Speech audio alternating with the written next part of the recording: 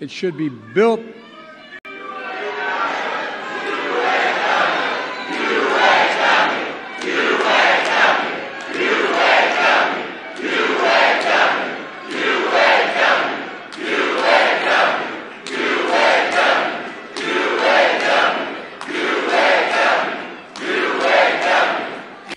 How you doing, everybody? Simple Son here. Um, as you can see, there's lots of people that don't like Joe Biden. Uh, that was a few days ago at the UAW, you know, little press conference thing he has. Eh, Technically, he had two, count them, two different press conferences where he was booed at by the United Auto Workers uh, Union.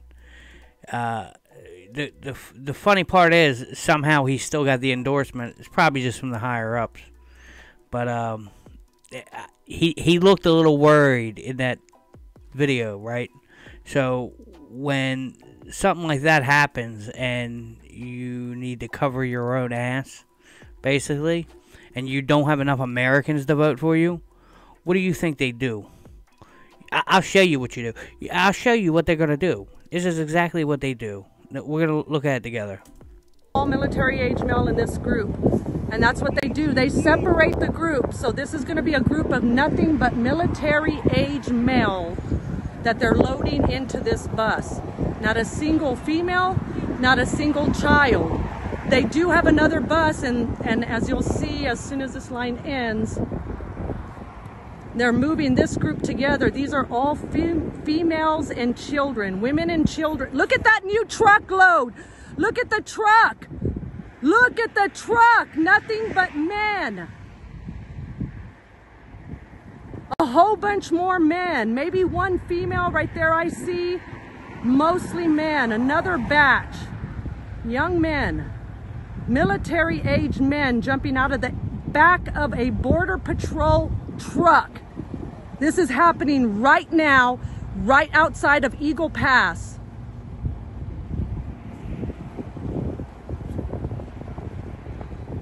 Another truck. I, I didn't even see this other truck full.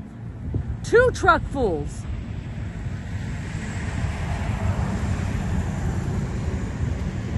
This is crazy nonsense. None of these people are going to be deterred. That's why it's the CBP out here. This is Biden's regime doing what Biden does. These people are all going to be sent down to the Firefly soft-sided processing facility. They will be bussed into the interior. They are not repelling these people.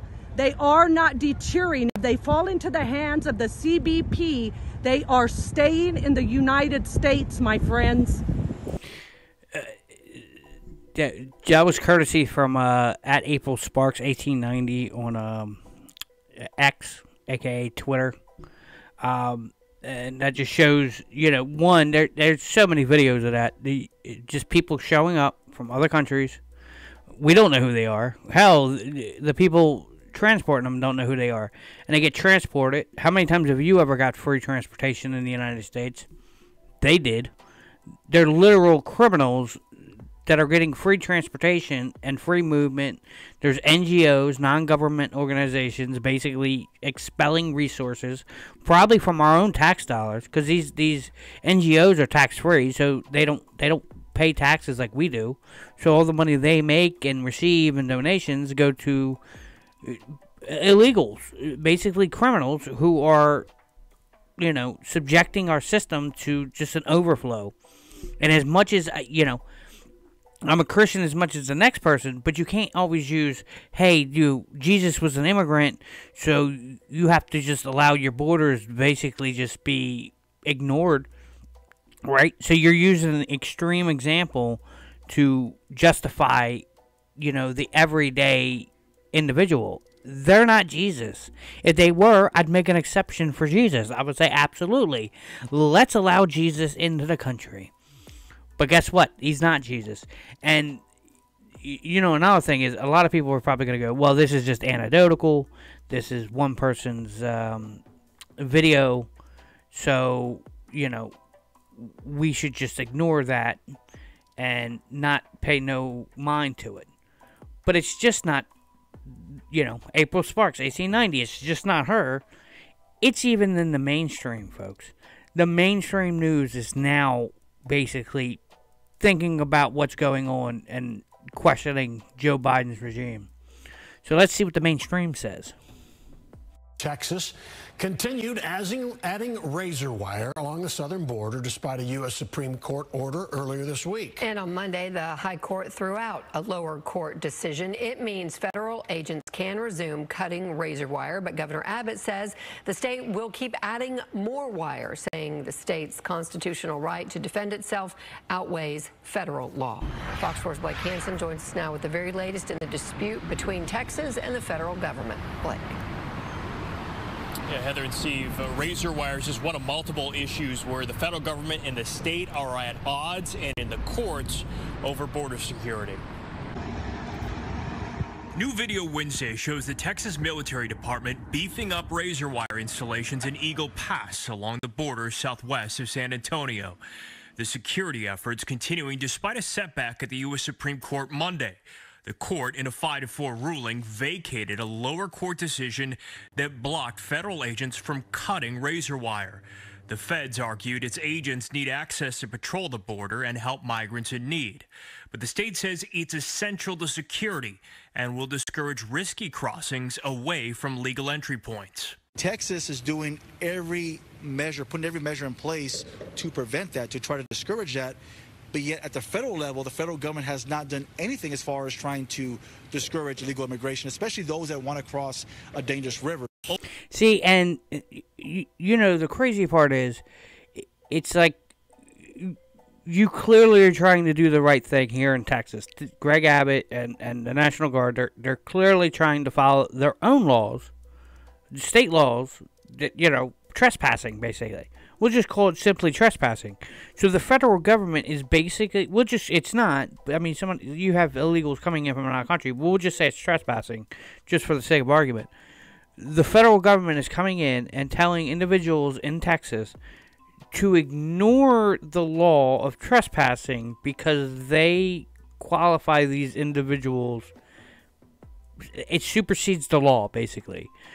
These these individuals who are technically criminals, are superseding the law itself without saying as much, right? Like, they're being blatant. They're being really, really blatant about it too. I mean, even uh, uh, Joe Biden's, you know, little. He's an admiral for Christ's sakes. An admiral John Kirby is is basically as blatant as it comes. Listen to what he's got to say on it about the razor wire in Texas. Does razor wire work? Does razor wire work for what? Does it work for the Border Patrol to allow them to have the access they need to be able to uh, to better process people that are uh, trying to get across the border? I don't think so, and that's why we asked for it to be removed. See, and and that's the craziest part in the world, ain't it? Like, you know, it's like, of course, why wouldn't you move the uh, razor wire? Why wouldn't you just uh, just you know basically put your guard down? Why wouldn't you you know just allow this invasion to happen? And that's what it is. Let's let's spade a spade. It's an invasion, right? Uh, at any again, I've said this in another video. At any other point in time in our history, or any history of any country anywhere on planet Earth, of any culture, of any race, even the same race, you would consider this as an invasion. There's literally military aged individuals basically crossing our borders without repercussions. They're actually being waved in, welcomed, come on in, come on in, right? So at some point, you got to start asking yourself is this a like a long term passive military operation? Is there some kind of like underlying, you know, reasoning? I mean, I'd like to know. I mean, if there's a reasoning behind this, I, I think our government needs to let us know what the reason is and kind of explain it to us. I don't understand it. Do you understand it? I mean, hell, the, the guy in charge right now, you can barely understand what he's saying. If you don't believe me, here he is. Listen to this. We'll teach Donald Trump an, a valuable lesson. Don't mess with the women in America unless you want to get the benefit.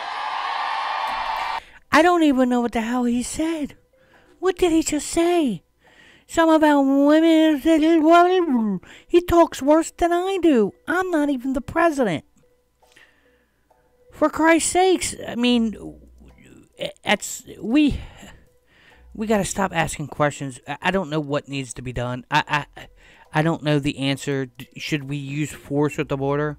Should we use actual physical force to stop individuals from crossing a border?